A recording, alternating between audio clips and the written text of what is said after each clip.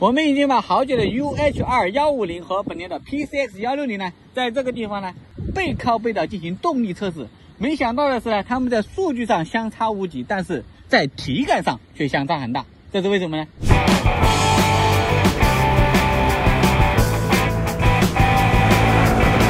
两台车的动力测试呢已经完成了，现在数据呢已经在我手上了。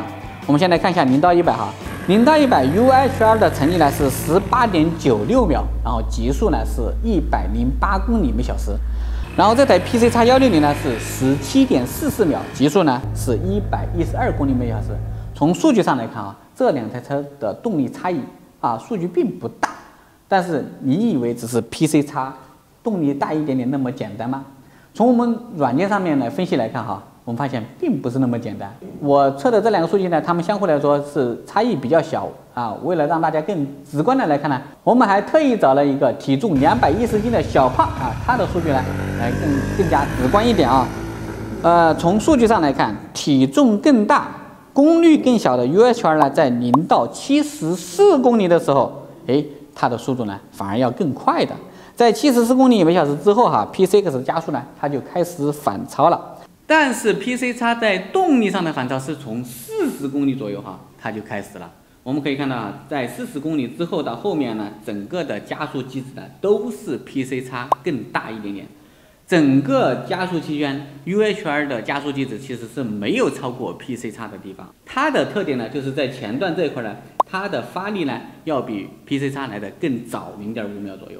造成这个现象的原因呢有两个啊，主要原因有两个。第一个呢就是它们的发动机呢结构不同，UH2 它是一个两气门的发动机，它的这个结构啊和老款的 PCX 幺五零啊那个结构是差不多的。然而 PCX 幺六零呢，它是一个四气门的发动机，四气门的发动机呢在高端的时候它有拥有更好的这样一个爆发力，这是第一个原因。第二个原因呢就是它们的传动啊，哎，在发力这块是有一点不同的。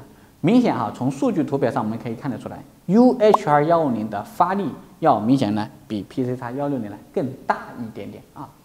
从体感上来说呢，这两台车呢它的动力水平就是一个正常的幺五零水平，PCX 幺六零呢在动力上呢还是要比 U H R 大一到两成之间。